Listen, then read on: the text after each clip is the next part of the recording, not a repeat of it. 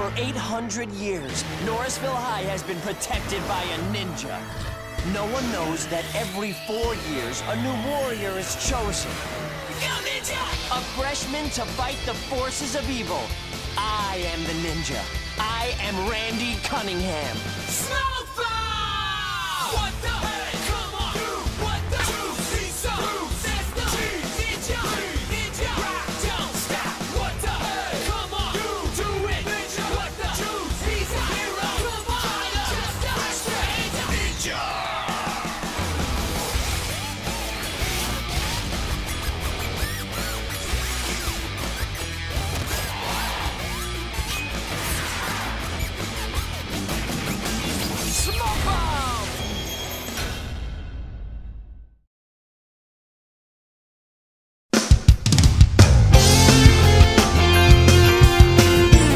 In my time watching Disney Channel, one part of them I always think gets a little less credit is Disney XD.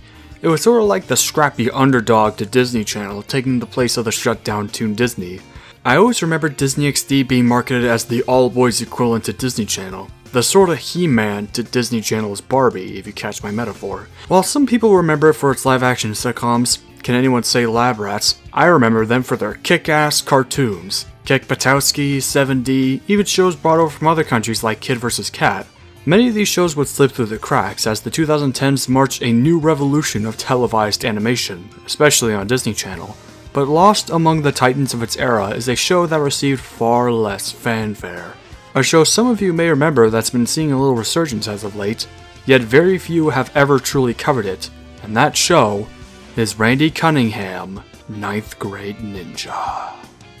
Created by Jed Elinoff and Scott Thomas, Randy Cunningham Ninth Grade Ninja is an action adventure comedy series that aired on Disney XD on August 13th, 2012. 2012 was like a big year for both Disney and animation. Not only was this the midst of the 2010s renaissance sprung by Cartoon Network, not only did it bring us Gravity Falls, but this was also when Disney XD reached somewhat of a peak for their programming, bringing in shows like Lab Rats and Crash and Bernstein. Remember that one? And plenty of animated shows like Tron Uprising, Motor City, which I've never seen, but holy cheese, look at that intro, and Ultimate Spider Man. You know, not the good one. Unfortunately, most of these shows will be cancelled in the span of a year, but not Randy, Shoobs. I always remember when Randy was being promoted in 2012. I was turning 10 around the time, and this was after when Gravity Falls premiered, so I thought I was eating good. I saw a few episodes of the show, and as it went on, I kinda gave up on it. Occasionally I would catch airings of it, yet as the years went on, I, I kinda was more into the live action shows. And then I stopped watching TV altogether when the live action sitcoms on both Disney and XD started to become stale. Until today, of course. Randy Cunningham 9th Grade Ninja has got to be one of the most obscure cartoons I have ever covered. Not a lot of people have made full reviews on it. I mean, it's been reviewed by this guy, this guy, and Cosmodor. Oh, wait a minute, it's gone. But you know what? That's not enough. Today, Randy Cunningham turns 10 years old, and I'm going to give this series the video it is due. Now, Randy Cunningham only has two seasons, so this will look easy in comparison to my other retrospectives. I will be fully analyzing this show from season 1 to 2 to see of whether this was the cheese or a stinking pile to be flushed down the shoob tube. I will be using a handful of Randy lingo throughout this video.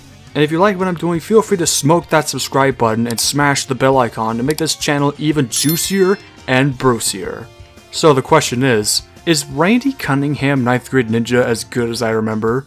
Does it hold up 10 years later?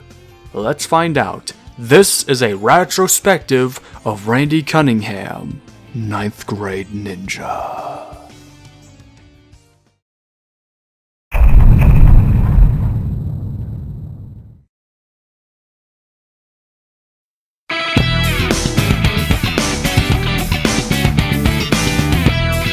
The idea of Randy Cunningham goes all the way back to 2008 by creators Jed Elinoff and Scott Thomas, a writing duo at Disney who's worked on projects such as Best Friends Whenever and recently Raven's Home, as well as projects outside of Disney such as the Banana Splits movie, Sci-Fi's Day of the Dead, and Scooby-Doo Mystery Incorporated? What the honkin' juice? Now if that doesn't sound like an interesting resume, then I don't know what is. Anyway, the idea was showcased in December of 2008, and Disney picked up the show. During this time, Toon Disney, the channel that would become Disney XD, was on its last legs, and three months later, on February 12, 2009, at 11:30 p.m. ET, Toon Disney pulled the plug, and Disney XD was birthed onto its place. During Randy Cunningham's development, the series was originally supposed to have less of an emphasis on comedy and more on character, with the ninja falling in love with Howard's sister Heidi Wienerman while still figuring out his identity. The sorcerer was nowhere to be found, and McFist would have kept a hefty eye on the ninja alongside Viceroy and a character named Judy. And he didn't have a signature brain fist. It also was going to have a different art style that looked akin to that of Kim Possible. For some reason though, the show was retooled, and Honan Vasquez, the creator of Invader Zim, was brought on board to design the show's characters and develop the show's art style. Other than that, however, there isn't really a lot of info regarding the development of the show. Not even the Randy Cunningham wiki has anything to say about its production. So after four years in development, huh, that's funny, four, Keep that number in mind because it's actually important to this video. The show would share a preview on Disney XD on August 13th, 2012, and will premiere on September 17th in Canada and 29th in America, airing on syndication up until July 27th, 2015. Almost four years! So now with all this in mind, let's buckle down and have a look at the show in its birthing years.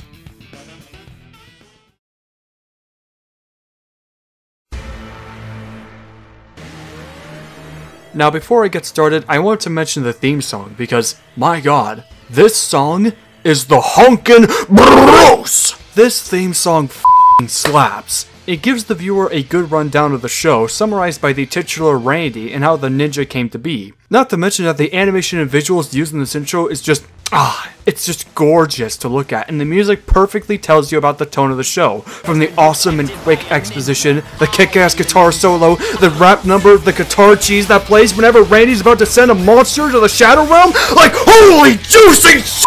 I'm so cheese right now! It's not the best theme song I've ever heard, but it works. It perfectly establishes the setting in the ninja and sets you up for what to expect. A ninja, farts, monsters, McFist, and plus, let's be real, this just goes fing hard. God damn, dude, it's it's the f***ing cheese. Now then, let's begin. The story of Randy Cunningham is explained in the intro, as I said, but allow me to set the stage for our story. Our story takes place in the lovely American city of Norrisville, specifically Norrisville High. For 800 years, this ground, or I guess Norrisville in general, has been protected by a mysterious ninja, clad in red and black, fighting against the corruption of the evil sorcerer, who has been imprisoned under the school for 800 years as well. Legend has it that every four years, the ninja mantle is passed on from senior to freshman by the Ninjanomicon, a tome containing the secrets and lessons of past ninjas. And now that mantle falls into the hands of a new student, one of heart and soul, maybe sometimes heart and soul, and one to defend the sacred ground from the forces of evil unto the end of his years. And that student is. Sweet! I have to tell Howard. You can't tell anyone. Oh, that's wonk. Yo, holy cheese, is that movie Sonic the Hedgehog? I have no idea. Yeah, don't worry, I'll get into the voice acting later. This is Randy Cunningham, played by Ben Schwartz, a freshman at Norrisville High, along with his good friend Howard Wienerman, played by Andrew Caldwell. One day, during his summer vacation, Randy is gifted the Ninja Nomicon by a stranger, along with a mask and a promise not to tell anyone. When he puts the mask on, he is gifted the awesomeness of the ninja and so decides to take up the mantle and protect his school not only from the sorcerer, but also his new ally, the mechanized mogul madman Hannibal McFist, and his assistant, Viceroy. And mostly because it makes him look like Ninja Fight Shadow the Hedgehog, which is pretty honkin' Bruce if you ask me. With all this set in stone, our hero now spends the rest of his school years battling the armies of McFist and the Sorcerer, all while learning to be a better ninja and doing what he does best. Whatever the hell high school bros even do. I don't know, I dropped out as a freshman. So, how would I describe Randy Cunningham 9th Grade Ninja? Well, if you couldn't tell by the premise, it's a Spider Man knockoff. You know, great power, great responsibility, cool powers, all that jazz. It mainly follows an episodic format with two segments per episode, yet much like Gravity Falls or Steven Universe or more recent examples like Owl House and Amphibia, it occasionally has the chance to expand its own universe and ideas and follow the occasional narrative. But it gets deeper into its narrative especially in season 2. There's nothing wrong with the show having an episodic format, plenty of popular shows follow this, yet this one in particular has its own format that runs through almost every episode, which, don't worry, I'll go into as we dig deeper into this show.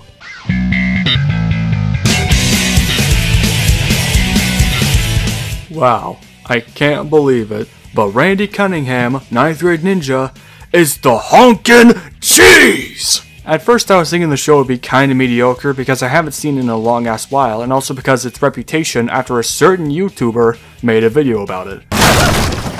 But surprisingly enough, Randy Cunningham 9th Grade Ninja is as fun, funny, and as much the cheese as I remember it. Why I even missed out on the show is honestly beyond me.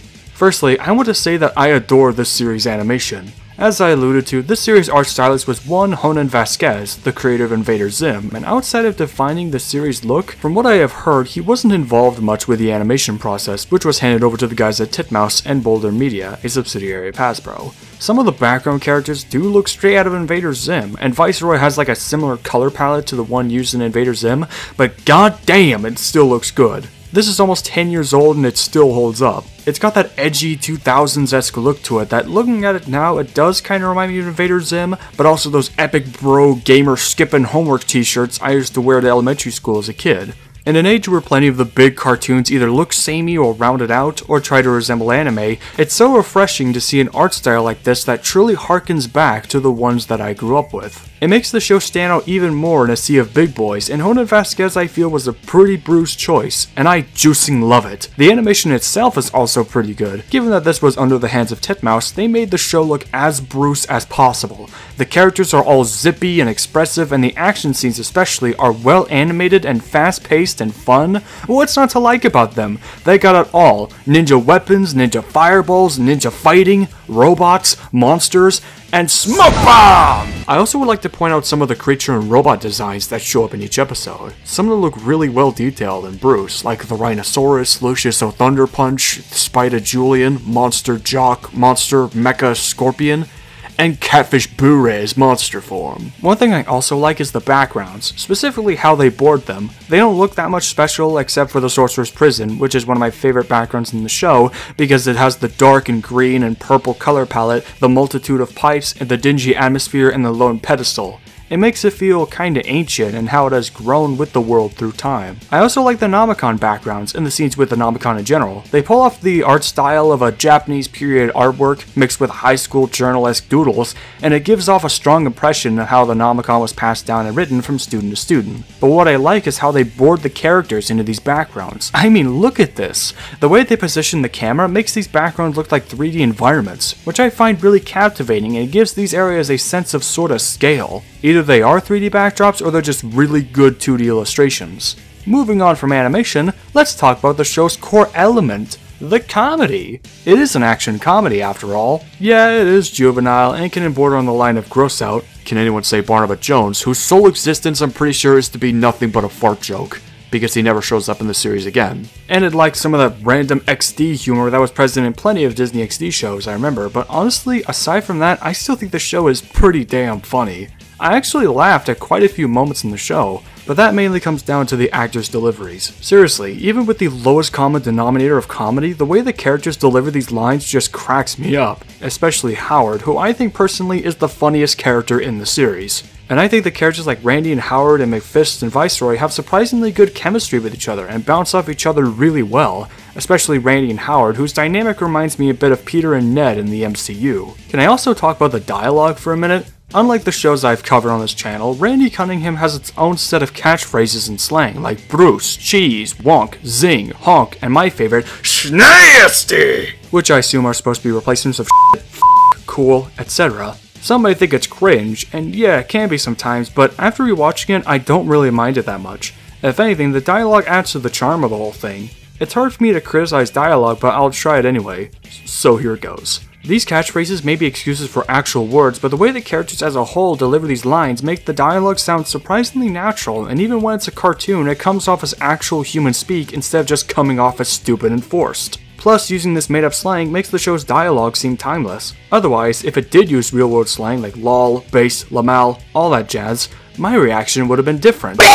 Even though I don't see myself using these phrases IRL, it's nice to see that the show invents its own set of words to give it a little more of that special flair. It's stuff like this in the action and the animation and the comedy that makes the series so charming in my opinion. I don't know how to describe it, but the show has like this earnest dude broy energy that flows through it, and it shows. It kinda brings me back to the time when Disney XD was advertised as being this epic haven for boys where all the cheese happens. It's like a unique charm that makes it hard for me to even describe. As I alluded to earlier, it's like those gamer shirts I grew up with in the form of a TV show. That sounds kinda cringe, and trust me, it could have been in the modern age, but the show makes it all work in an over the top yet ultimately endearing way. It's just really poetic, and it gives the series a very, very unique charm. I also want to briefly touch on the music, which was composed by Brad Breeck, who's worked on shows such as Fanboy and Chum Chum, We Bare Bears, Glitch Techs, Gravity Falls, of which he composed the theme song, and recently The Owl House. It's mainly comprised of rock and roll, especially in the action scenes, which can be pretty catchy and I think it fits the tone, yet it feels kinda samey. I usually don't talk about music in cartoons, yet the show also has its own set of lyrical tunes, kinda like Amphibia, that all vary in quality. Most of them sound kinda meh or flat out bad, but my personal favorite is Disorder by Randy and Howard's 30 Seconds to Math. Unfortunately, it doesn't have a full version as far as I'm aware, but but from what I've heard of it, it's the cheese. Disorder. I got that detention, deficit disorder. Also, I just want to point out that the Whoopi World theme song used in the show is literally just a pitched version of We Like to Party by Vengaboys. Take a listen.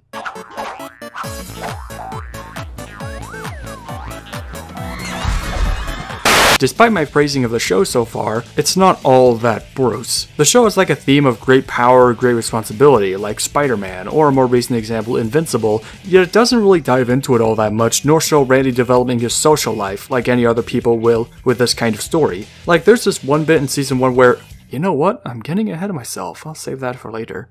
It's also a really formulaic show looking back on it. Most of the episodes will have Randy and Howard do something to become cool, usually a ploy set up by McFist or a thing that might lead to the sorcerer's corruption. Then Randy will chime into the Nomicon accompanied by an sound effect, and we are introduced to the lesson of the day concept. The Nomicon is also kind of like a character in and of itself. It's semi-sentient and speaks in metaphorical lessons that Randy more often than not either ignores or misinterprets because, you know, he's a total shoob. This kid ain't playing with a full deck, folks. He gets himself into trouble with the enemy, and the lesson thus comes back in the end to help him win and save the day. Now, the show being formulaic isn't necessarily a bad thing. Plenty of shows are formulaic, like Phineas and Ferb, and that's Honkin' Bruce. This one works for Randy Cunningham because that's kind of the point of the show. The entire point of the series, in fact, is that Randy is an inherently flawed character and needs to learn not only to be a better ninja, a better hero in general, but also a more better person, even if it does get him punished in the end. I mean, he's a kid after all. There's a general sense of consistency with the show, as lessons are brought up more than once, and a few changes are quite permanent, like Randy dropping his generic looking katana in exchange for a Brucer, more durable sword. And characters and events are brought up more than once, if not cleverly foreshadowed. So, despite the show's episodic nature, these elements make the show overall feel like a big journey for Randy. His story is like that of great power, great responsibility, much like Spider Man, or a more recent example, Invincible. And while both of them have done the sort of thing with more depth and nuance, Randy Cunningham isn't necessarily the worst of this idea. He makes plenty of mistakes, and when he doesn't see the Nomicon's lessons the right way, he has to realize his mistake and owe up to it. There's also this looming sense throughout some parts of the series that the ninja stuff might feel like a burden on Randy's personal life. This shows in the episode Lucius O Thunder Punch when he feels unwanted by the school and throws away his mask, in what is likely a reference to that one Spider Man panel where he throws away his suit, only to come back in the end when he is needed. Randy deep down inside has a heart of gold, even if he often reverts back to being a shoob. There's also this one episode I like in the season where the Nomicon takes over Randy's body for a day and does some shooby actions, while the real Randy's inside the Nomicon and has to learn a lesson about balance or whatever. It shows that the Nomicon is something that needs to be handled with responsibility. It kind of plays into that great responsibility thing and how Randy basically has to balance things out more with the Nomicon. Well, at least that's how I interpret it. I also like the two-parter special The Ninja Identity and Supremacy where Randy gets amnesia and so Howard has to become the ninja. It's pretty hilarious and a cool indication that anyone can be the ninja. I kinda wish they did it with the other characters like Teresa. That sounds kinda deep, but hey, the show's not trying to be deep, and that's okay.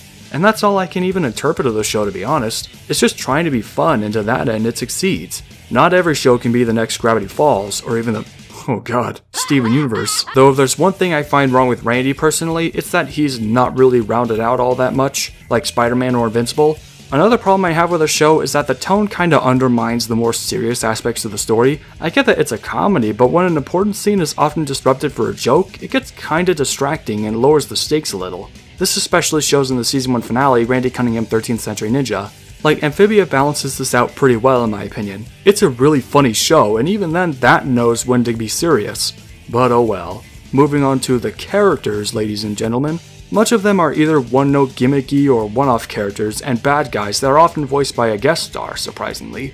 The real star of the show is, well, Randy Cunningham. He's brash, stubborn, a total show-off, and possibly the most dude-broiest protagonist I've ever seen in an animated show and I think that's pretty Bruce. Anyway, when he possesses the ninja suit, he gains a wide variety of ninja weapons and ninja gadgets he gains later down the line, such as the ninja sword, ninja size, ninja chainsaw, ninja smoke bomb, ninja rings, ninja tripping balls, ninja b-balls, ninja tengu fireballs, ninja air fist, ninja whatever hell that thing is, ninja scarf that he swings around like Spider-Man, ninja gaiden, ninja go, ninja, ninja turtles, ninja assassin, ninja scroll, ninja missiles, ninja dildo, ninja everything, everything is the ninja! So he's the ninja now, and that's pretty bros. Howard Wienerman is Randy's bestest estest friend. He is basically to Randy Cunningham what Ned Leeds is to Peter Parker, or what Ganke is to Miles Morales, or what that skinny gay kid is to Invincible. And much like Ned Leeds in the MCU, Howard is my favorite character in the series because he's the funniest one.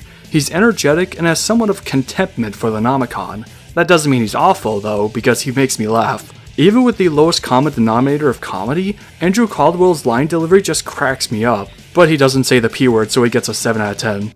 I'm looking.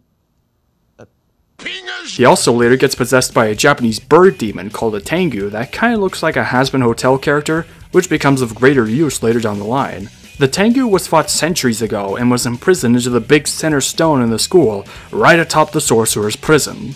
The Tengu is also linked to the suit itself as its feathers imbue the suit with mysterious power and establish a sort of voodoo doll-esque soul connection. The only way the Tengu can be vanquished is to burn the ninja mask. But don't worry because it imprisons the Tengu and gives the suit back. There's also Heidi Wienerman, Howard's sister and runs the school web show thingy that's kinda like the Midtown Technical from the MCU Spider-Man movies. Man, it always comes back to Spider-Man, isn't it? It usually covers stuff like drama and ninja things. Teresa Fowler, a cheerleader at Norrisville who later develops a crush on Randy, which culminates in a scene in season 1 where Randy takes Teresa to dance and Just, just kidding! this semi-romance goes absolutely nowhere and is used mostly as a joke. Which kinda sucks honestly, and this leads us back to that point I mentioned earlier. I think they skipped out on Randy and Teresa getting together. Like, this could have been a decent way to develop Randy's character and get a girlfriend. Because, you know, he's a freshman. Maybe have him struggle between his ninja duty and his commitment to Teresa, or have him break up with her. But then again, romance nowadays is gay anyway, so I think Randy totally dodged a bullet on that one. Or maybe the crew are so afraid of being labeled a Spider-Man knockoff that they don't want to turn Teresa into a Mary Jane, or even a, oh god, a Gwen Stacy, so they probably dodged a bullet with that as well. Bash Johnson, the bully character and McFist's stepson, he's like the Flash Thompson of Randy Cunningham. He's also pretty funny in the way that he speaks, like he speaks in this sort of Brooklyn accent, even though I assume he's supposed to be Canadian like his mom or some shit. He's also at one point mistaken to be the ninja, which he revels in, of course. Stevens, a trombone boy whose main gimmick is Flute Girl, yeah, that's her name by the way. She plays the flute and is shown to have a relationship with Stevens, and her gimmick is You guys are idiots. Yeah, remember when I said most of these characters are pretty one note? Bucky, the triangle boy, whose whole shtick is that he likes to make puns, or zings if you will.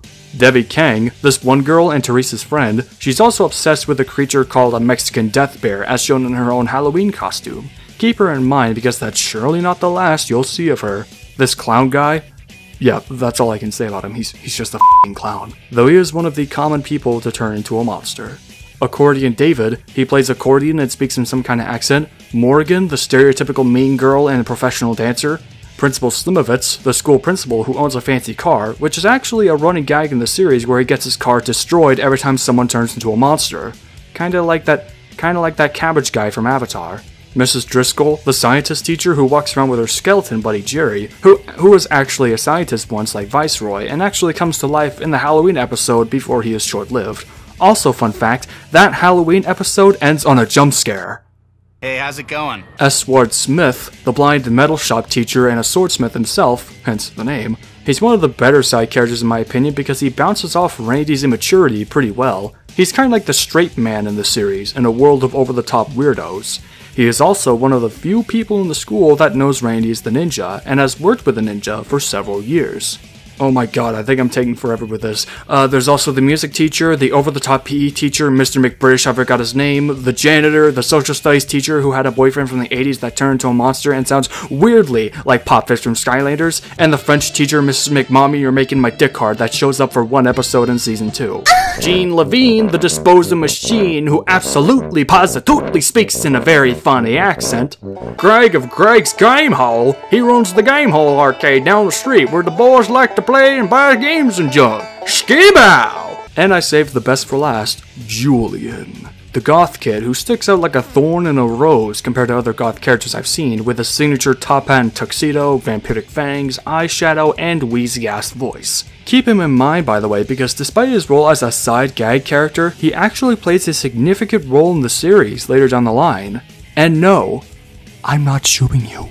Speaking of which, the villains, ladies and gentlemen. Hannibal McFist is one of my favorite villains in the show.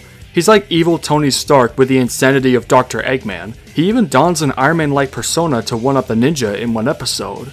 Anyway, he's the most powerful and most celebrated McMahon in town. Hell, not even Randy can get enough of his McCheese. You can't take one McStep in around Norrisville without McSeeing Mick on McEverything. McSatchlays, McRobo-Apes, McRobots, McMuseum, McFreaks, McSquiddles, McTars, McTheers, McDonald's, McRobo-Arm with McRobo-Brain? This brain is never elaborated on, by the way, and is probably just there for show. Which is actually kinda hilarious. Like, did he just steal some guy's brain just so he can look cool? McFist is a self-centered narcissist who often infringes on the ideas of his assistant Viceroy to one-up the ninja and gain his gift from the sorcerer, an unknown superpower, presumably to put himself on top of the game. He, or I guess technically Viceroy, tend to set up elaborate schemes to draw out the ninja, which Randy always falls for because, you know, he's a shoob and whatnot. McFist is in actuality a really incompetent goofball and has a tendency to yell a lot, which I feel amplifies his spoiled nature. Aside from that though, he's just fun to watch. He's funny, charismatic, he's a terrible boss to his robo-apes, which are like his minions by the way. In fact, this becomes a subject in the episode Rise of the Planet of the Robo-Apes, and he and Viceroy have good chemistry with each other as the maniac and scientist sidekick. He's certainly no Bill Cipher or Heinz Doofenshmirtz, he's not the best, but you know, he, he's pretty fun. He also has a wife named Marcy, and I know what you're thinking. Shut the juice up. Anyway, she's HOLY JUICE! God damn, Hannibal! I didn't know you were base. Step aside, Odalia Blight. I think I just found a new evil big bad babe. Pure ecstasy. Anyway, her name is Marcy and she loves Hannibal very much, and she speaks in a Canadian accent. In fact, a few of the characters in the show speak in Canadian accents. Viceroy. This guy is also pretty funny. He's McFist's head of robotics and sciences and creates every invention used to take down the ninja, which McFist will often infringe upon. There is Mac Antfee, who is a knockoff of Rex Kwon from Napoleon Dynamite. You know, the guy that says, Do it again. Anyway, he's the head of his own ninja camp where he teaches kids to fight like ninjas, except he does it the Mac way, so you know, he's gotta crank it up. He was also an owner of the Nomicon himself, the Ninja of 85, which was foreshadowed in the episode Stanked to the Future. But as he became caught up in the greed, he gave up the Nomicon while still holding on to the ninja's powers. Which explains his superhuman strength and speed, and so desiring full power, he's vowed to find and destroy the ninja. Until the episode Enter the Nomicon, where Randy uses the ultimate lesson, which is just ninja amnesia, to make Mac give up his powers. The Sorceress, the girlfriend to the sorcerer who was once sent to the Shadow Realm but then escaped and took on a sexy disguise to free the sorcerer and destroy the ninja. But then she retreats and is sent back to the Shadow Realm in another episode. Catfish Booray, a really funny swampy guy who controls animals and has some weird voodoo magic dusty hickey. And he's voiced by Jimbo Cumba Dingus. Skibow! and I saved the best for last. Again, the sorcerer. A tall ass, lanky ass, cucumber looking ass warlock who is pretty much the green goblin of Randy Cunningham. But he wasn't always like this. Once upon a time, this mean, green, corruptive fiend was once a lowly peasant living out a normal life, until one day when he discovered some magic green balls that granted him unimaginable power, of which he has put to good use by wreaking chaos in early Norrisville, until he was met in great battle by the ninja, which resulted in his imprisonment under what would later become Norrisville High. Ever since then, he has sworn vengeance against the ninja, so that one day he would be free and wreak havoc upon the world once again. Of which he briefly gets his wish several times. See, the sorcerer possesses an ability called Stank, and you might be asking, what's Stank? Well, the sorcerer is drawn out by negative emotions sadness, humiliation, depression, all that jazz. Sadness! Despair! Grief! This smell of sorrow reaches the sorcerer via the sewers, which draws out his smelly stank clouds that turn the students into monsters. Think of it like the corruption in Steven Universe, but from an actual source. Nobody is off limits from stank. Students, adults, McFist, even the robots at one point. The only way for a person to be unstanked is to have an item important to them be destroyed, be it something they hold dear, or for them to not feel bad about themselves, like in the episode Schloomp, there it is, where Randy manages to get Theresa back to normal by giving her flowers and telling about how Randy loves her. Anyway, back to the sorcerer, I think he's a good enough villain overall. He's not really all that complex or anything for that matter, he's simply just a guy that does evil shit for a living and gets mild enjoyment out of causing chaos. He's like a sadistic anarchist, an agent of chaos, if you will. Oh wait, wrong reference. He's really maniacal and conniving and always fetishistically eager for his next victim and makes up for it for his fun, maniacal personality. And also because he's voiced by Tim friggin' Curry. Speaking of which, the voice acting is pretty top notch for a Disney show. They got a really impressive voice cast and they all do a solid job with what they're given. As I have alluded to, Randy is voiced by the one and only Ben Schwartz, who many of you may know as the voice of movie Sonic the Hedgehog as well as Dewey in that DuckTales reboot. If you know any of those characters, then that's probably all you'll hear out of Randy. But Schwartz does a really good job with Randy, amplifying his dude broy energy, and it's just a great fit. And he also has great chemistry with fellow Disney actor Andrew Caldwell, who's had a few minor roles in shows like Hannah Montana, and as far as I know, this is one of his only two voice acting roles, which kinda sucks because he plays one of the funniest characters in the show. This satchel is going to change everything! When people see we got a McSatchelate, they'll worship our cheese! McSatchelate 299! 9.99? The two of us splitting one McSatchley is the best idea we've ever had. Yeah, about that. Oh, nice work, Cunningham. Mac Antfee was a full-on nice wad until you unsploded him back into a jerkwad. I'm totally shoobed. He'll keep coming after me and everyone I know. Sometimes I wish I wasn't everyone you know. That's what Wooter Papa was saying. El Bruchismo. If we took him to the pet park, we could rub everyone's faces in any of his four butts. You're right. I absolutely should use my ninja skills to spring him. Yes, do that quick before the Nomicon. Aw, right on cue. Gonna have fun? Pfft, not on my watch. I hate you. You hear me? Hate. Prolific voice acting legend John DiMaggio voices McFist, and if you know DiMaggio, you'll probably get a kick out of McFist. He screams a lot as well, which is kinda funny. When I told you to design an did I say anything about it being a disgusting, useless blob? Get rid of them! All of them! Bring out the chair of torture, the rack, the Iron Maiden, the pair of anguish, and, uh, uh, feels like I'm forgetting one. Um, I'll get my mind reader. We can figure out what you're forgetting. you have a mind reader? Why didn't you tell me? You never asked. What am I supposed to be, a mind reader? Once again, you send an incompetent robot to do a competent robot's job. Give me a break. The ninja is in fuego. You've lost a robot every single day! Nice, Roy. Get out of here! Not if you're gonna yell at me. DiMaggio also voices characters like the Robo Apes and Gene Levine. Kevin M. Richardson, my favorite voice actor, voices Viceroy, and he does this unique voice that's very different from all the big, bombastic characters he's always known for playing. It sounds very flamboyant and lackey-ish, and, and, and for lack of a better term, it just sounds gay, which is a good thing because Viceroy and McFist have such fun chemistry with each other. Hannibal, worked day and night and broken every law of physics to build you a time machine. You gonna tell me what you need it for? So, you're the ones claiming you broke a pair of McPeepers. Sorry, boys, but there is just no... But they're indestructible. I'll prove it. See? Indestructible.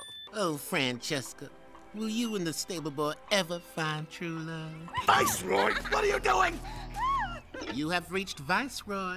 I can't get to the phone because I'm attempting to enjoy the only day of vacation my unethical boss gives me each year. Leave a message after the tone.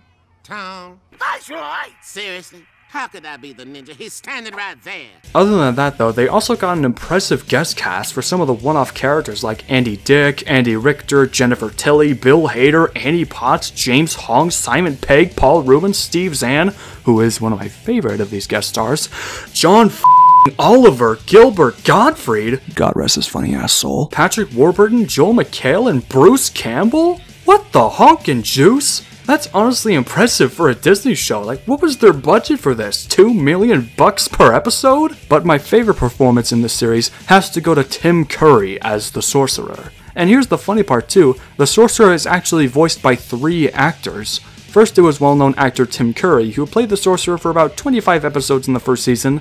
Then he was recast for one episode, which I think is likely connected to him having a stroke in 2012. So, in the episode Randy Cunningham 13th Century Ninja, he's voiced by what I assume to be JB Blank, who I know mostly as the voice of Braum in League of Legends. And after this one episode, for the remainder of season 2, he's voiced by the late Ben Cross, an actor with a resume in films such as Star Trek, Sorcerer, etc. Here's a comparison. Hello. I don't think we've met. I am the sorcerer. I have been down here for 800 years. You've probably heard of me. Ah, artificial fear, digital misery, binary humiliation. Time for me to take matters into my own hands. Here's to old friends and you, chaos. This is the most boring week ever. No breakups, no burnouts, no blunders. Everyone has been disgustingly gloom-free. Fortunately, McFist has assured me he has a plan guaranteed to crush the school's school spirit. We made a deal, McFist. My freedom in exchange for the superpower of your choosing. But you continue to fail me! Perhaps it is time to find another worthy of my reward. You have failed, ninja. The stone is finally mine. I will harness its power and enslave you all! It is the dawn of a new era. When our friend Booray found one of my power balls, he became my puppet. Jealousy, anguish, despair. It's a veritable buffet of betrayal. my power gave him what he wanted. Now he will give me what I need. Chaos! Remember when Halloween wasn't so commercial? It was about fear and terror. This just took a turn for the frightful. Out of all these actors that play the sorcerer, Tim Curry is easily the best one. He sounds so slimy and sadistic and somewhat sophisticated and a genuinely great fit for the sorcerer. It really sucks he couldn't come back after season 1 because it's really damn good. So overall, I had plenty of fun with Randy Cunningham. It's not as emotionally deep or compelling as other Disney shows, which is probably why it's grown overshadowed over the years, and like, that's okay. It's not trying to be deep or anything, it's just trying to be fun, and while it does have its problems in its tone and development, it succeeds at what it's trying to be. It's funny, the animation and style is really good, most of the characters are entertaining, the world is interesting sometimes, it's witty, it's Bruce, it's everything one would expect from an action comedy, and more.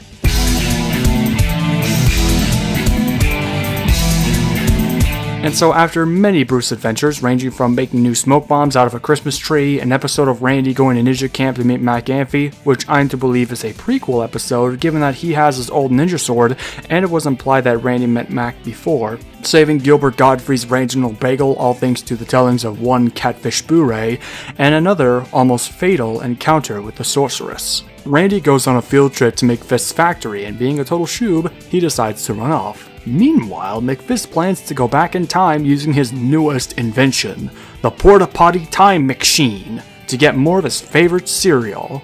You know, if I had a Porta Potty Time mix shit, I'd probably go back in time and get some cereal straws. Now those were the cheese. Back on topic, the sorcerer has had enough of McFist's McFailures to make Catch the Ninja and thinks he should find someone more worthy of his reward. Back to Randy and Howard, they lumber around until Howard finds the time shit and takes a big fat 1213, which sends our heroes back to, well, the year 1213. Edo Norrisville, as I like to call it, very Japanese looking, which kind of begs the question of how the juice this town was even founded, but who cares? It's a comedy, and real world logic is for shoobs. Anyway, they take a look around the town until it is attacked by a stampede of stanked rats led by the old sorcerer himself. An epic fight breaks out, and Randy is hanging by the sorcerer's prison hole when he's rescued by none other than the first ninja himself, or as I like to call him, Ninja Prime, played by Joel McHale. He also has an assistant named Plop Plop, played by Adam Pally, which is hilarious because it's the sound of shit plopping into a toilet. Ninja Prime was gonna throw the sorcerer into that hole, but because Randy has walked the past, the present has been altered. The sorcerer is free and is causing chaos across the town, and it's turned into Mad Max Fury Road out here. So now Randy has to team up with Ninja Prime to defeat the sorcerer, as he is free and has taken the Tengu Stone. Come, my friend, schloomp with me. They schloomp into the Nomicon, and the lesson for our heroes is you cannot write the future until you write the past. Basically, meaning that he has to fix the timeline and put the sorcerer back in that hellhole or else the fate of history will be changed forever. Back in the main timeline, the sorcerer wants to see the ninja for himself, to see him witness his untold failure, and to make him bleed. Back in Edo Norris, Ninja Prime says he quits. With the sorcerer more powerful thanks to the Tengu Stone, Ninja Prime had given up. He lost hope, and he leaves the town, with Plop Plop to follow. With the entire timeline and the world at stake, it's up to Randy and his friend to fix the future and write the past.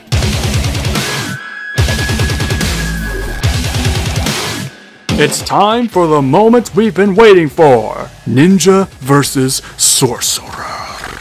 Even though it's not the main timeline one, but whatever, it's Bruce anyways.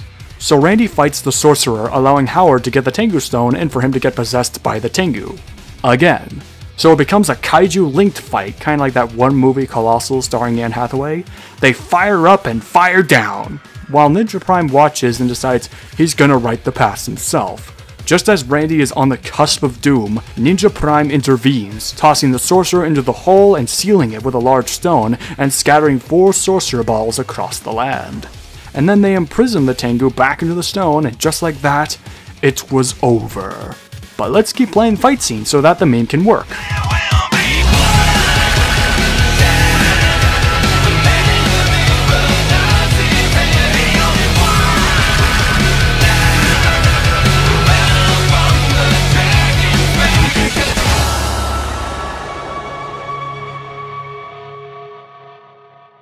After that, Ninja Prime thanks Randy for his help, and Randy tells him to restart his legacy into the book. And they do the thing that kind of drags on for too long, and then they go back to the present. And so, the season ends with Randy cementing himself into history and granted the opportunity to write his own story. The end. Actually, it's not the end. There's an after credit scene, in fact, where Catfish Booray finds one of the sorcerer balls, a foreshadowing of what is to come. Aside from that though, I thought the season 1 finale was Bruce. The fight scenes were pretty epic, it was pretty funny, and it felt like this one had actual stakes in not only the current timeline, but in all the timelines, even though it was kinda undermined by the humor. But yeah, still pretty Bruce. This is Knuckles, and I'm back. I've been away for a while. Randy Cunningham 9th Grade Ninja Season 1 was the absolute cheese. Is it perfect? No, obviously. It has a few problems, but I had plenty of fun with it. It was funny, the action scenes were cool and fast paced, there's somewhat of a core, the characters are mostly enjoyable, and overall, this was a really fun show to revisit. It's not a really deep show or whatever people expect from cartoons nowadays, because as I've said, the show ain't trying to be all that deep. It's just all in good fun, and that's what matters most. But yeah, it was pretty Bruce, and I give this one a 7 out of 10. But season 2 though, that's a whole new cheese entirely.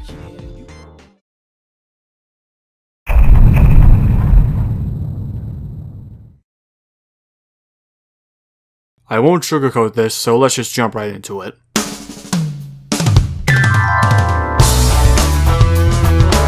It's year 2 for our radical ninja rascal, assuming time actually does fly in the series, of which Randy should be in a new grade by now, but whatever.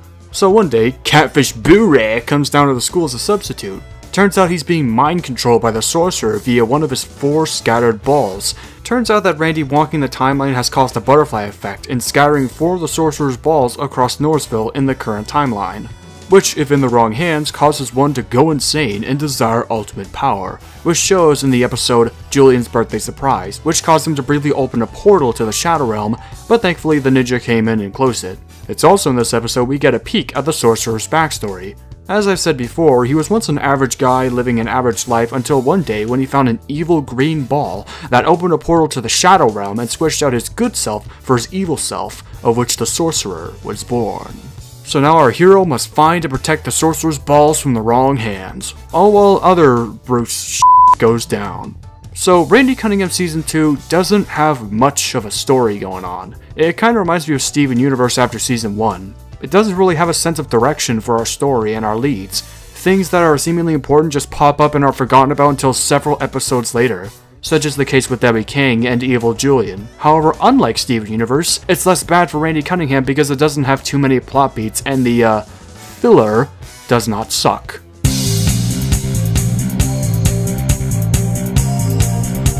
I honestly don't have a lot to say about Randy Cunningham Season 2. It's not bad by all means, it's still pretty good, better than the first, by only a small margin. It doesn't really feel much like a true season and more like a DLC pack with extra levels and quality of life changes. If I were to compare it to a video game, then I would say Randy Cunningham Season 2 is the Overwatch 2, or the Galaxy 2 of Randy Cunningham. First up, the animation still looks pretty Bruce. For one, there's more fluidity in the movement sometimes, as well as a notable camera shake in some of the action scenes, which I think makes them more fun to watch, especially the music fight with Lavender Hart. And the colors are notably more saturated this time, and it makes the show look more vibrant and colorful, and I like it. And I also like how there's a heatwave effect in some of the hot episodes, it just makes the colors pop even more. Season 1 looked a little desaturated in some of the episodes, which I can't tell if that's either a Disney Plus problem or if the animation just really evolved, but it's Bruce either way. And I also like the backgrounds in the Shadow Realm. It draws from Mesoamerican imagery in its architecture, and it gives the realm an air of mystery. Like, like was there a civilization in this realm before the sorcerer was discovered? I don't know. Another thing that's changed in this season is the sorcerer's design. Aside from his voice, his look looks mostly the same, but with notable gold runes on his cloak. His green skin is more saturated and he has less balls around his belt, of which I counted and he has approximately 10. The writing in the season also feels better this time. While it is still reliant on potty humor, the show still makes me laugh with its witty banter and engaging dialogue. One thing I like about this season is that it's actually more creative with its episodes. It reminds me of Amphibia Season 2 in a way, and it holds some of my favorite episodes in the series. Like, there's just one Inception parody episode where Randy gets stuck in a dream thanks to a sorcerer ball. So it's all just Randy and Howard for a majority of the episode, and it shows off their dynamic more. There's an episode where Randy and McFist have to escape Scrap City, and it's pretty cool to see where he puts all the robots away from the previous season. As well as it being funny to see McFist just do nothing while the ninja does all the dirty work. It's so McFist for him to do.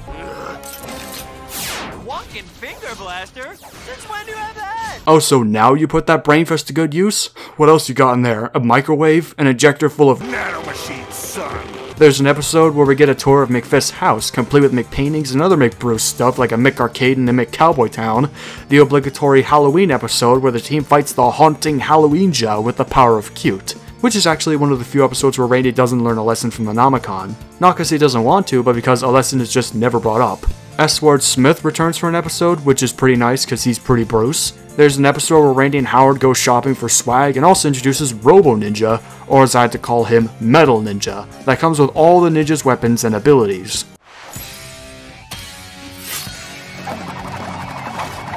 Oh, that's what that thing is. so honkin' Bruce. And by the end, Randy and Howard sing a rap song about shopping with pimp gold and robo bitches and line with a censored neck chain. No, I didn't edit that, that's how the episode is on Disney+. Plus.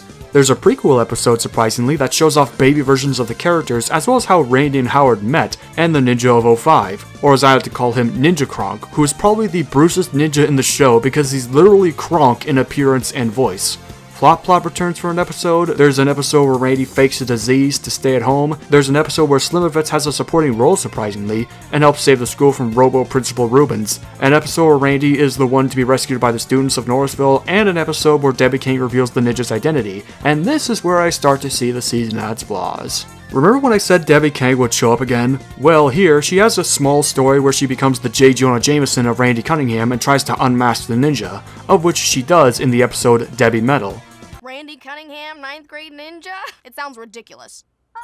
That's 13 episodes after the episode All the Juice That's Fish to Swim, where the storyline is set up, and it has practically no build up. You see, the problem here with this season is that it feels like it doesn't have a sense of direction for any of the plot beats it introduces. The only one they kinda do well is where Randy has to find and protect the four sorcerer balls. And then there's Evil Julian and Debbie Kang, of which they don't do anything with her until later on. They don't build it up or show any hints to something developing, they just kinda forget about it for a while. It's the same problem as Steven Universe, but here it's less bad. Which sucks because the actual episode where Debbie reveals the ninja's identity is really compelling. It shows Randy at his most vulnerable now that his friends and enemies know his identity, so he has to struggle without using the ninja suit. But then they resolve this plotline with a bullshit fake ninja puppet and the Nomicon wiping out Debbie's memory. Also, I think McFist forgot Randy's name as well since he doesn't bring up Randy's name after this one episode. Also, also, what about the sorcerer? Did he overhear this? Does he know Randy's the ninja? Or was he just meditating while all this was happening? If you're just gonna ignore a certain plot beat for a good chunk of the season, then why should I care? It just feels like the writers forgot about the scene until someone brought it up, or they think the audience watching the show has the brain capacity of a potato. You know what they should have done? In my opinion, I think they should have incorporated small scenes, maybe even at the end of each episode of Debbie spying on Randy and his friends, introducing the ninja's identity by herself, as well as her appearing on Heidi's show, providing updates on her research and finding clues, like, say, one of the ninja's weapons. That would not only develop a small storyline and showcase where it's heading, but also give flawless build up to this episode, even if it would end haphazardly. The same problem of not showing much applies to Evil Julian, who I personally believe is the weakest villain in Randy Cunningham, but I'll save that for later. Randy also gets Ninja Sense, which is basically just his heightened senses, and it's never used anywhere again. Like, come on, even the Tengu Fireball and the Air Fist are used more than this. Oh yeah, I should probably talk about the season's story, should I? The main storyline for the season is that Randy has to protect the Sorcerer's four scattered balls. Apparently him walking up the timeline has caused a butterfly effect and for the Sorcerer balls to scatter across Norrisville. This story is okay for the most part, yet it also suffers from the same problems as Debbie Kang in that it's skipped over for filler and feels disjointed and almost non-existent as a result. I am perfectly fine with how the season is because it's fun, but it almost feels like they were told not to have a story or something. It's like a requirement from Disney and Randy doesn't even realize or figure out that he walked up the timeline. He doesn't think that him going to Edo Norrisville caused these four balls to appear in the current timeline. Well, I guess that makes sense because, you know, he's a total shoob. Of course, if you just ignore the incredibly flawed story, then what you have is a pretty good improvement of the first season. The action is still pretty cool, and Randy and Howard and McFist and Viceroy still have some good chemistry together. And they're always pretty funny. Also, even though he's stuck in the Shadow Realm, Julian still appears in the show as a background extra. I'm pretty sure it was an animation error, but I just wanted to point that out. Speaking of which, Season 2 has a fair share of new characters like Mort, Howard's kind and considerate father and an employee at McFist Industries, voiced by Bing Bong from Inside Out. You know, it's funny, we see Howard's parents but not Randy's parents for some reason. Maybe one of them died in an alleyway or something like that. Doug.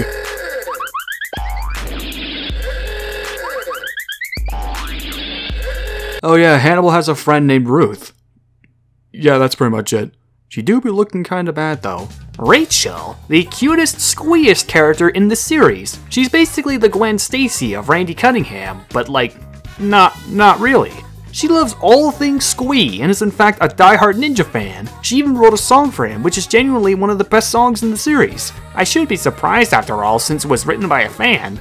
Like, an actual fan of the show. If I were to take a pick between all the girls in terms of personality, I'd say she's the best girl. She also, probably, sleeps in a room like this. Lavender Hart, Ray and Owie's old nutty bandmate who got kicked and sold himself to the sorcerer, which gave him special blue snake powers that caused chaos and put him on top of the world.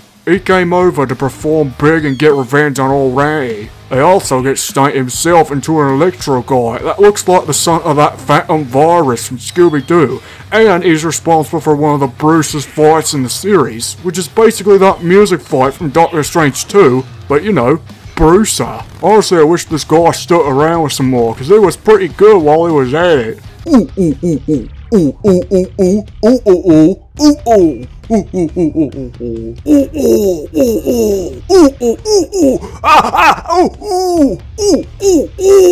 Robo Ninja, or as I like to call him, Metal Ninja, because he's pretty much the Metal Sonic of Randy Cunningham. A robot created by McFist with the exact same moveset and weaponry as the ninja, which Randy defeats by using Lucius' O Thunder Punch, which was conveniently sold in the same shop where he was selling the ninja gear. Ninja Kronk, the cronkiest, bruciest ninja to walk the halls of Norrisville High. Truly, one of the ninjas of all time. The Interterrestrials, right? An underground race led by one Queen Gabnadine, right? Who I think worship and are protected by superheroes, of which they kidnap Randy to absorb his hero to save their species, right? Which, uh, I don't remember there being other superheroes in the show other than Lucius or Thunder Punch, right? Which also begs the question of where the hell are the other supers when Norrisville is at near death at the end of the series, right? But who cares? World building's for shoobs.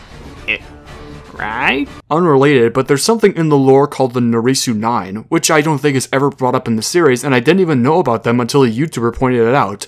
But for those that didn't know either, it was basically a Power Rangers like team up of ninjas led by Ninja Prime that fought the Sorcerer long ago. I don't know what happened to the other ninjas, but I assume they likely died. I don't know, I'm not caught up on Randy Cunningham lore. There's also these two restaurant owners that are like rivals to each other, but I honestly forgot their names. And I saved the best for last. Again, again, Evil Julian. Or as he's called by the fandom, Ghoulian, which doesn't really roll off the tongue, but whatever. This magical, maniacal, and later mechanical menace is an evil clone of Julian from the Shadow Realm, the same one that gave birth to the Sorcerer and imprisoned the Sorceress. Now in the mortal plane, he takes the appearance of regular Julian except his skin is paler, his clothes are milky white, and he has the ability to turn into a stank monster at will, which is never brought up in the show again. He's like the, uh... The, uh... y- you know, he's like, uh... Oh god, I don't know what Spider-Man character to compare him to. Oh wait, I got it! He is the Nemeroth from Space Marine of Randy Cunningham. Yeah, I think that's a good comparison. He got into the via mirror in Oklahoma, and then he's been building up his plan, which is never shown in the show. He builds a giant robot, and then he takes on a semi-mechanical form, and then a truly mechanical form. His goal throughout the series is that he wants to gather the four Sorcerer Balls, of which he has one in his possession, bring his minions to the mortal plane, and become unassailable. Just like Nemeroth. I mean, that sounds pretty Bruce on paper, but I sincerely believe that Evil Julian? Mecha Julian? You know what, screw it, I'm gonna call him EJ. Anyway, I think Evil Julian is the weakest villain in Randy Cunningham history. For one, he's only in the season for about 5 episodes, and he does practically nothing until the last 2 episodes in the series. Once again, he suffers from the same problem as Debbie Kang in that he's mostly non-existent. He shows up in the segment Snoklahoma as his introduction, and he has this eerie vibe when he leaves, then he takes action in the segment Mastermind of Disaster Mind, where he builds a mech suit, forms a semi-mech suit with the sorcerer balls, and then he survives, and literally several episodes later he comes back in Big Trouble in Little Norrisville. That's literally the tail end of the series, and the events that followed are mostly out of pure contrived luck. He doesn't have a lot of build up to his story and feels less compelling and threatening as a result. But if anything, at least he's more intelligent than anyone else. He makes full use of the situation and knows at least how to retreat, but even then that barely does justice to a poor storyline such as this. You know that post-credit scene from the film Morbius? Well, in my opinion, I think they should have gone down that direction for Evil Julian. Have him go around Norrisville and coerce the show's villains, including McFist, Booray, and, I don't know, Lavender Hart, to do a villainous team-up the Fearsome Four to find the other Sorcerer Balls, free the Sorcerer, and destroy the Ninja in exchange for a wish from the Sorcerer himself. They all corner the ninja by the end, only to have EJ betray the team, steal all their superpowers and balls, open a portal to the Shadow Realm, and ascend to mighty, assailable Sorcerer Supreme God of the Multiverse. And then Randy gets to team up with the Sorcerer and the other villains to take down EJ, with the Sorcerer of course sacrificing and redeeming himself in the process. Also have Evil Julian know the ninja's identity so that the story could have more stakes. Not only would this make for a genuinely compelling and funny storyline with the villains' personalities clashing with each other, but it would also test out the skills and lessons Randy has learned throughout his adventure. Kinda like the episode Raiders of the Lost Nomicon. Or heck, have this guy form the Fearsome 4 slash Fearsome 5, tell us who the Juicy is, and give us an explanation for his motives, since he's practically the Snoke of Randy Cunningham. But you know, before Snoke was ruined. And don't you worry, I will talk about this person later. Eventually. Plus, genuinely speaking, I find Julian to be really annoying. Why, Ninja, don't you recognize me? You made your choice, Ninja. All the balls are mine. Soon, your world will belong to me! Bring me the balls!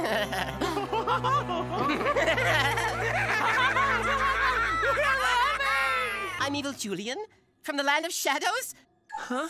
Hello? Julian wears all purple. I wear all white. Uh... How has no one noticed this? You're the most annoying person on the planet. I am of the unpopular opinion that thinks D. Bradley Baker is kinda an annoying voice actor. I don't know, he's great for animal noises, but sometimes whenever he uses his speaking voice, it's like grinding a chalkboard on my eardrums. And Julian, all versions of Julian, is no exception. They could have deepened his voice a little to make him more intimidating, or heck, he should have just spoke with a voice like this. So, you like kicking butts, do ya? Well, we'll show you, old man! Speaking of which, I still think the voice acting is pretty Bruce. The other highlight for me in the season is the late Ben Cross as the Sorcerer, who is my least favorite voice actor for the Sorcerer. Now I don't think Ben Cross is a bad actor, I think this voice could have fit a younger version of the Sorcerer, but here his voice just sounds too over the top and lacks the sort of sinister sophistication that Tim Curry's Sorcerer had which genuinely gave the sorcerer an evil feeling and an evil presence. I think a better replacement should have been either Mark Hamill or Ron Perlman. Sure, they might have sounded too different, but at least they would give a more sinister performance befitting of the sorcerer. So Randy Cunningham's season 2 overall is a mildly decent improvement, but I wouldn't call it great. If you bereave the almost non-existent and poorly executed main plot, the season is still entirely enjoyable, topped off with Bruce action scenes, funny jokes, and entertaining characters. Disney XD. Okay, let's take a break for a minute and talk about what I like to call 4 theory. So, if you've paid attention to the show like I have, you might know that for some reason the show really likes the number 4. It's like how Jhin likes the number 4 in League of Legends. I mean, think about it. Every 4 years a new ninja is chosen, there's 4 grades in high school and 4 years in high school, Four years the show supposedly spent in development. The show spent almost four years on the air. Friggin' four words in the title if you dismiss the nine. Four letters in the word mask. Four ninjas shown on screen. Randy, Howard, Ninja Prime, and Ninja Kronk. Unless you count Mac which that makes five. Four main villains in McFist, Viceroy the Sorcerer, and later Evil Julian. Four sorcerer balls scattered. Four limbs. Four wheels in Slimovitz's car. Four members in McFist's family. Himself, his wife, his stepson, and his brother. And if you count his deceased father, then that makes five. I mean, for God's sake, the show first aired on a juicing leap year. A leap year! Okay, I might be going too far with this, but if my theory is correct, then that is some insane dedication right there. But why? why is the show so subtly obsessed with the number 4? And the number obsession is really ironic too because in Japan, the ninja's home country, the number 4 is oft seen as an omen, the number of death, and so is highly avoided in Japanese society and other parts of Asia. So why the Juice is a show about a kid turning into a Japanese super warrior obsessed with a supposedly cursed number in the ninja's native country? Well, I might have a theory for this. In numerology, the number 4 has various meanings other than death, such as loyalty, responsibility, and conscientiousness, which is another word for honorable, but it also represents stubbornness, rigidness, and people born with this number tend to be a know-it-all, which I think greatly describes Randy's personality in the show. He's lazy, brash, and tends to be a smart aleck, yet he has some sort of heart of gold and carries the weight of responsibility with him being the ninja. A person born with this number can be hard pushing towards their goal, but also pushing back, pushing traditional activities and interests over work and often not listening. Which I think is a perfect description of Randy's character arc. I believe this number is used to represent Randy climbing his way to become the best ninja there ever was, and also genuinely a better person. That might be why there's four main villains in McFist, Viceroy the Sorcerer, and later Evil Julian, with old EJ possibly fitting as this sort of final challenge, given how he's shown as an evil stronger than the Sorcerer. Well, that's just my best theory for now. And now back to the show. Now back to the show. Continues on Disney XD.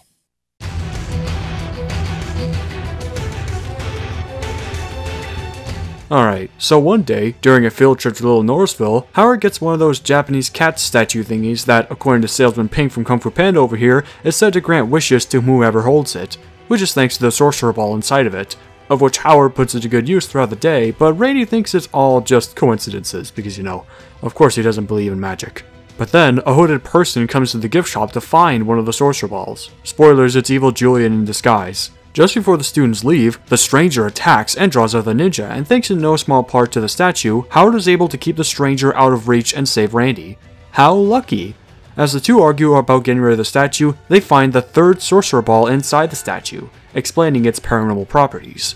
Randy goes out to confront the stranger and turns out it's good old EJ in disguise. Who would have thunk? And they duke it out. As Howard watches, he accidentally makes a wish, which shows that the ball's power juice is draining due to the abuse of wishes. And so he puts his abuse to good use in the fight, wishing for souvenirs and a neon sign that says how Bruce he is on it. But then Julian escapes and Randy throws away the ball on the bus, causing it to break and for the very last drop of power to drop into the city's water supply, infecting the citizens and turning them into digging slaves. Which Howard is completely oblivious to and think they're digging for a contest. So Randy takes a peek into the Nomicon and meets up with Ninja Prime, who tells him that unless Randy can get the Sorcerer Balls, an evil more powerful than the Sorcerer will be unleashed upon the world. So he heads back home to get his one ball and sees Howard on the other side. Howard's found another one as well, and then Randy's stopped by Theresa. Give me the ball. It makes good work of her. So he heads back to the park to find Howard until they're found by evil Julian, who commands his army to take the ball from Howard. Thankfully, using his own ball, Randy turns them away and they duke it out. Randy uses the ball's power in this fight, and doing such makes him succumb to the dark pleasure, even almost killing EJ in the process. But then he sees Howard injured and lets go of not his one ball, but Howard's as well. Howard, with some dust in his throat, decides to drink some water only to get infected, Oh, man. Forcing Randy to decide either to save Howard or stop EJ from using his balls. Of course, Randy chose the first option and lets EJ become more powerful than he ever was, and then he escapes. With the sky blackening with a sickly green tinge upon him, Randy, and I guess the audience's final lesson, is now at hand. Hey, Randy. Oh, Theresa, hey, you're my groom girl. Never been. Uh, uh, put. Smooth, Cunningham. Smooth.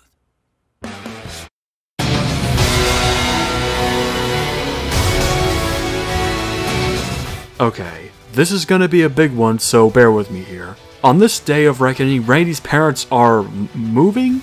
Wait, really? You're moving at a time like this? Well, given the circumstances at least, that makes total sense, so I'd say it's fine. Anyway, Randy's parents are moving, and with his newly found threat, Randy has about 24 hours to get rid of EJ and save the world. So he heads to EJ's location, good old Mount Chuck, where he's opening a portal to summon his demon army, and so Randy sloops into the Nomicon one last time, which shows all the events that led up to this moment, and Randy's final, ultimate lesson for the series is, when facing an unbeatable enemy, seek an unlikely ally.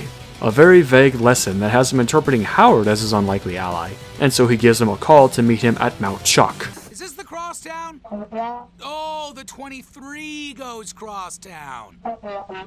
15 minutes? Yeah, I can wait 15 minutes. I'm in no rush. Randy heads inside to fight EJ, and they do get out again.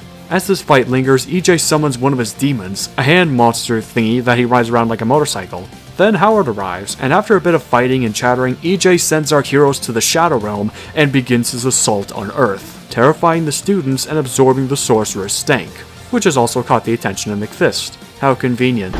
Greetings, former classmates! This is the part where you scream. Back in the Shadow Realm, Randy and Howard find Julian. Remember when I said he would play a significant role? Well, this is one of them. Apparently, Julian's been in the Shadow Realm for some time, and his skull friend Tyler knows of a way out through a valley of pig asses and ancient stone ruins of a long gone civilization. Back on Earth, the sorcerer has been milked dry of his power, and Julian has become unassailable.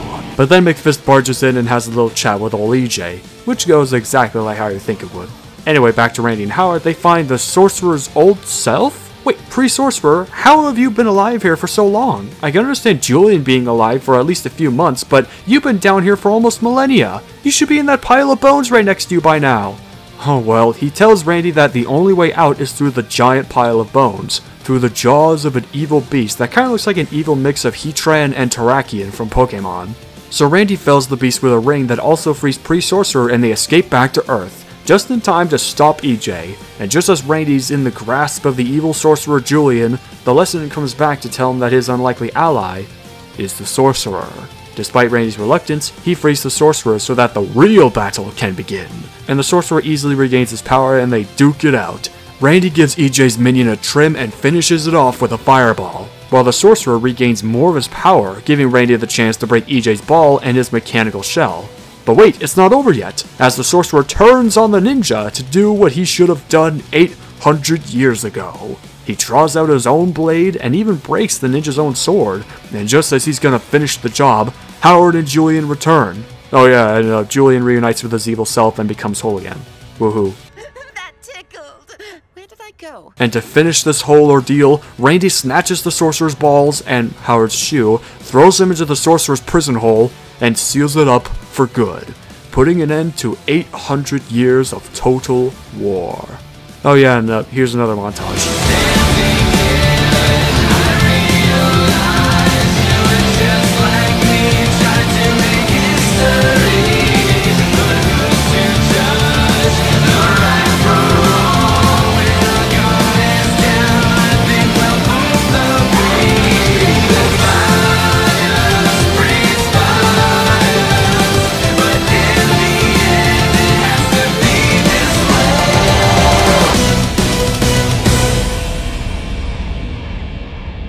As the sorcerer laments his loss, pre-sorcerer comes in, telling his old friend that it's all over, and they reunite as one, ascending to heaven. Which, can I talk about this for a second?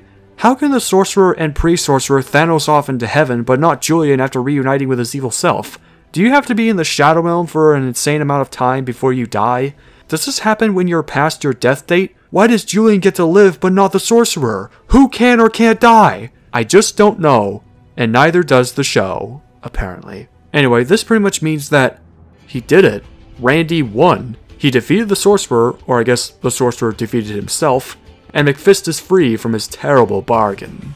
But all that hard work can't stop Randy from moving away from his friend, and they bid their farewell. just kidding. Turns out that Randy was just moving to the house next door and not so very far away. I mean, don't you like it when nothing matters? But yeah, it was all just a complete misunderstanding, and so everyone, everywhere, lives happily ever after. The end. You enjoy those snacks, Ninja. Your greatest battle is just around the bend.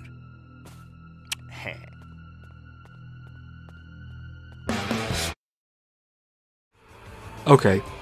What the honkin' juice was that? Of all the things you can do to end Randy Cunningham, you had to do it on a cliffhanger? And what's interesting about this is that it ends on this mustache man, who is perhaps the most elusive figure in the show, and the character I saved the best for last. Again, again, again. The fact that this guy has showed up in every episode in the background and dates even further in the lore is insane. That is honestly some hard dedication for a Disney show.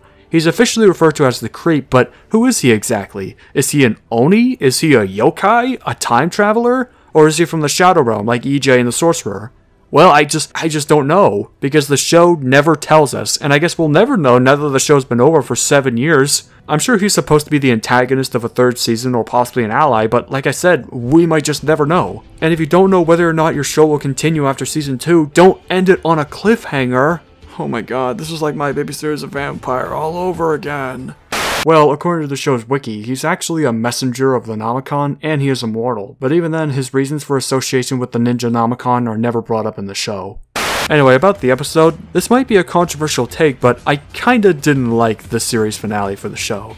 In fact, I might even go as far as to say it's the worst episode of Randy Cunningham history. The show may have had some weird and almost bad episodes, but this one is my least favorite because it showcases the lowest in Randy Cunningham's writing. Which really sucks because the show has genuinely tried at good storytelling, and then this one just wonks it all up. Things just happen in the story with little to zero elaboration, the inconsistent tone makes it hard to take the story seriously, like even in the end the students don't just thank Randy for saving the universe, they just walk off like it's a regular day at Norrisville. The stakes didn't matter all because of a simple misunderstanding, Evil Julian was really annoying, and it ended the series in a way that honestly felt disappointing and haphazard.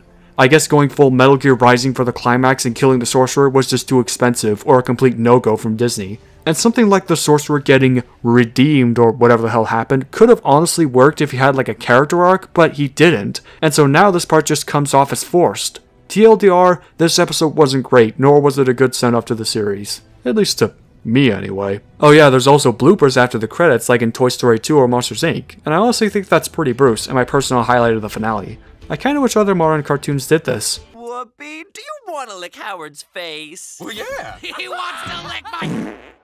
It wasn't me, it was Whoopi! Right, Whoopi? Well, no. Oh, come on! It also shines a little light on the creep. So much for that character, I guess.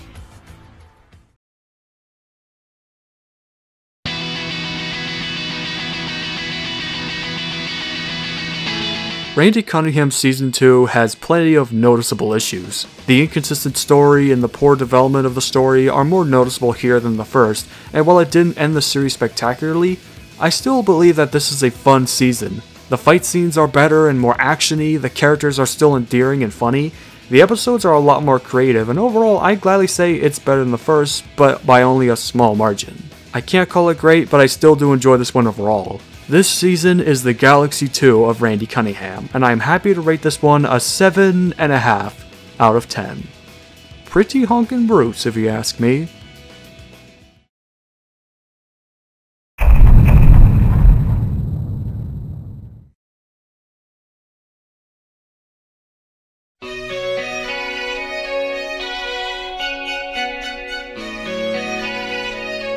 So here we are now, seven years later. So what happened? Why was the show cancelled? Why did it end on a cliffhanger? What happened to the crew? Well, as far as I know, the official reason for the series cancellation is unknown. I even messaged the leads on Instagram and Twitter for an answer, but so far they never responded. Some suggest that it wasn't raking enough profit for Disney, or Disney wasn't willing to give them another chance. The latter I think sounds logical given Disney's general incompetence and their treatment of the Owl House. But to put on my tinfoil hat, my personal theory for this is because of the fact the show is airing on Disney XD, a smaller network to Disney Channel, and how despite having a decent audience, it got little to no promotion outside of its own network, and thus was unable to catch on like Gravity Falls and Phineas and Ferb, which were seemingly Disney's biggest TV priorities at the time. The fact that it was even airing at the same time as Gravity Falls is also kind of a red flag, especially when you compare them in ratings. That's a really bad sign. Regardless of whether it was because of Disney's incompetence, the show was cancelled after two seasons. The creators Jed Elinoff and Scott Thomas have since stuck to live action shows, most recently producing the sci fi horror show Day of the Dead, and are currently working on Raven's Home.